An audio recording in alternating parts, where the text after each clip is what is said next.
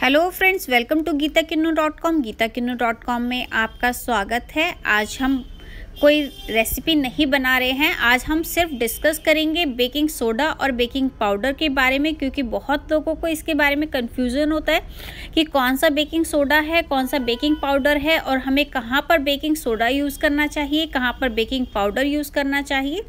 तो इसी कन्फ्यूज़न को आज मैं दूर करने वाली हूँ और इसे दूर करने से पहले अगर आपने मेरा चैनल सब्सक्राइब नहीं किया है तो आप प्लीज़ इसे सब्सक्राइब कर लें और सब्सक्राइब करने के बाद आपको एक बेल आइकन दिखाई देगा, जिसे आपको ज़रूर क्लिक करना है, ताकि मेरी आने वाली लेटेस्ट वीडियोस का नोटिफिकेशन आपको सबसे पहले पहुँचे और आप मेरी वीडियोस को सबसे पहले देख पाएँ। तो आइए स्टार्ट करते हैं। बेकिंग पाउडर और बेकिंग सोडा को पहचानने के लिए सबसे पहले हमें उसके कलर को देखना पड़ेगा। देखते हैं, ये देखिए, दोनों का कलर वाइट है। पहचानना बहुत मुश्किल है कि कौन सा बेकिंग सोडा है, कौन सा बेकिंग पाउडर है। क्या आप पहचान पा रहे हैं? बिल्कुल भी नहीं कोई भी नहीं पहचान सकता इसे देखकर। तो हम इसे पहचानने के लिए इसका टेक्सचर देखेंगे। टेक्सचर के लिए हमें इसे हाथ में लेना पड़ेगा। हाथ में हम इसे देखेंगे। ये देखिए, ये कुछ दानेदार सा फील हो रहा है, जैसा नमक होता है। हल्का सा रफ, हल्की सी रफनेस है, आपको पास से दिखाती हूँ। ये देखिए, हल्का सा दानेदार है ये, बिल्कुल स्मूथ पाउडर नहीं है। जब आप इसे हाथ पे लेंगे तो थोड़ी सी रफनेस महसूस होगी, जैसी नमक में होती है। अब हम बेकिंग पाउडर को चेक करते हैं। अब जब बेकिंग पाउडर को हाथ में लेते हैं तो ये बिल्कुल स्मूद होता है, बहुत ही चिकना होता है, बहुत ही फाइन पाउडर है। बिल्कुल आपको ये कुछ कुछ कॉर्नफ्लावर की तरह लगता है। तो आपको हाथ में लेने से पता चल जाएगा कि कौन सा बेकिंग सोडा है और कौन सा बेकिंग पाउडर है। तो इसके टेक्सचर को देखकर आप बता सकते हैं कि कौन सा बेकिंग पाउडर है और कौन सा बेकिंग सोडा है।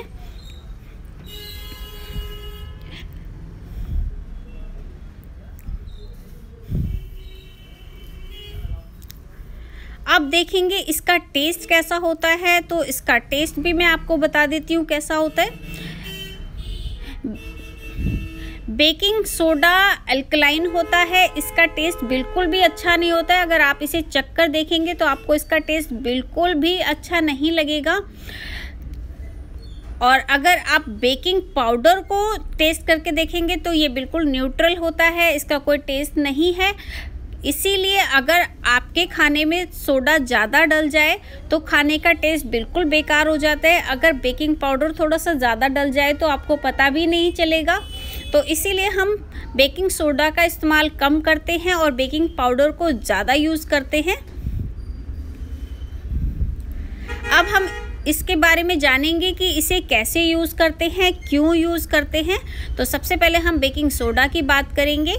बेकिंग सोडा को हम यूज़ करते हैं जब हमें इंस्टेंटली किसी चीज़ को फुलाना होता है, वो मैदा हो, सूजी हो तो इसे फुलाने के लिए हम इसके साथ मिक्स करते हैं किसी भी खट्टी चीज़ को। दही हो सकता है बटर मिल्क हो सकता है, नींबू का रस हो सकता है विनेगर हो सकता है।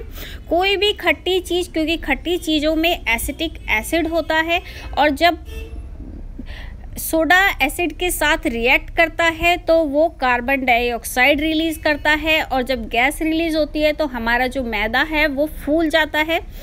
पर ये जो रिएक्शन है बहुत ही इंस्टेंटली होता है, इसे बहुत ज़्यादा टाइम नहीं लगता है। तो जैसे ही ये फूलता है, आपका मैदा साथ में फूल जाता है, आप इस मिक्सचर को देर तक नहीं रख सकते हैं, क्योंकि अगर बबल्स बैठ जाएँगे तो आपका मैदा बिल्कुल भी नहीं फूलेगा। पर ऐसा बेकिंग पाउडर के साथ बिल्कुल नहीं होता है, क्योंकि बेकिंग पाउडर में ऑलरेडी एसिड होता है। हमें इसमें कोई भी एसिड डालने की ज़रूरत नहीं है। इसे मैदा को फुलाने के लिए सिर्फ़ मॉइस्चर चाहिए होता है, पानी चाहिए होता है। तो हम जब भी इसे यूज़ करते हैं तो हम पानी का इस्तेमाल करते हैं और जब मैदा को हम पानी के साथ गूंदते हैं, बेकिंग पाउडर के साथ गूंदते हैं तो हमें उसे रेस्ट करने के लिए रखना पड़ता है। और रेस्ट करने के बाद ये कार्बन डाइऑक्साइड रिलीज़ करता है क्योंकि इसे टाइम लगता है कार्बन डाइऑक्साइड को रिलीज़ करने में। और बेकिंग सोडा को आप तब यूज़ करते हैं जब आपको उसी टाइम कोई चीज़ बनानी होती है, क्योंकि इसमें बिल्कुल भी आपको टाइम नहीं लगता है बेकिंग सोडा तभी यूज़ करते हैं जब आपको बिल्कुल इंस्टेंटली कोई चीज़ बनानी हो, क्योंकि अगर आपने इस बैटर को रख दिया तो आपका जो मैदा है वो बिल्कुल भी नहीं फूलेगा। और बेकिंग पाउडर को हम तब यूज़ करते हैं जब हम बैटर को रेस्ट करने के लिए छोड़ते हैं डो को रेस्ट करने के लिए छोड़ते हैं। और बेकिंग पाउडर उन चीज़ों में इस्तेमाल होता है जहाँ पे हमें ब्राउनिंग चाहिए होती है, जैसे बिस्किट हो गए केक हो गया और पेस्ट्री हो गई, भटूरे हो गए तो इन चीज़ों में हम बेकिंग पाउडर को इस्तेमाल करते हैं क्योंकि इसमें हाई फ्लेम पे कुकिंग होती है और हमें ब्राउनिंग चाहिए होती है। तो जहाँ पे भी आपको ब्राउनिंग चाहिए, वहाँ पे आपको बेकिंग पाउडर का इस्तेमाल करना होता है। क्योंकि बेकिंग सोडा से ब्राउनिंग नहीं आती है बेकिंग सोडा सिर्फ़ मैदा को फुलाने के लिए यूज़ किया जाता है और जो बेकिंग पाउडर है वो फुलाने के साथ साथ आपके जो डो को ब्राउनिंग भी देता है साथ साथ कभी कभी हम क्या करते हैं के, केक में आपने देखा होगा कि हम बेकिंग सोडा और बेकिंग पाउडर दोनों का इस्तेमाल करते हैं क्योंकि हमें केक में हम केक को हमें राइस भी करना होता है और साथ में ब्राउनिंग भी देनी होती है। तो इसलिए हम वहाँ पे सोडा और बेकिंग पाउडर दोनों का इस्तेमाल करते हैं। तो ऐसी कई चीज़ें हैं जहाँ पे हम दोनों का इस्तेमाल करते हैं जाकि, ताकि जो हमारा रिएक्शन है वो और जल्दी हो सके।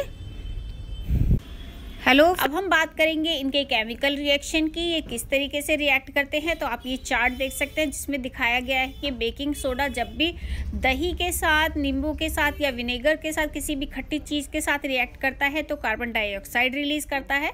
पर बेकिंग पाउडर में ऐसा नहीं है, क्योंकि इसमें ऑलरेडी एसिड होता है। तो जब ये मॉइस्चर इसे मिलता है या फिर पानी के कॉन्टैक्ट में आता है तो ये कार्बन डाइऑक्साइड रिलीज़ करता है। और बेकिंग सोडा और क्रीम ऑफ़ टाटर मिलकर बेकिंग पाउडर बनाते हैं। क्रीम ऑफ़ टार्टर को आप मान सकते हैं कि एक खट्टी चीज़ होती है, एसिड होती है, जो ऑलरेडी प्रेजेंट होती है बेकिंग पाउडर में। तो इसलिए इसमें एसिड करने की ज़रूरत नहीं होती है। अब हम बात करेंगे इसकी क्वांटिटी की। तो जब भी आप one fourth teaspoon soda use करते हैं अगर उसको रिप्लेस कर रहे हैं आप तो आपको वन टीस्पून बेकिंग पाउडर लेना है। यानी कि जो रेशो है, वो वन इस टू फोर का रेशो है। अगर एक चम्मच सोडा आप यूज़ करते हैं तो आपको चार चम्मच बेकिंग पाउडर यूज़ करना है। तो ये थे हमारे जो डिफरेंस मैंने बताया आपको बेकिंग सोडा और बेकिंग पाउडर के बारे में तो अगर आपको मेरा ये वीडियो अच्छा लगे तो प्लीज़ मेरे वीडियो के नीचे लाइक का बटन क्लिक करें और मेरे चैनल को सब्सक्राइब करना ना भूलें। मेरी वीडियोस को ज़्यादा से ज़्यादा शेयर करें।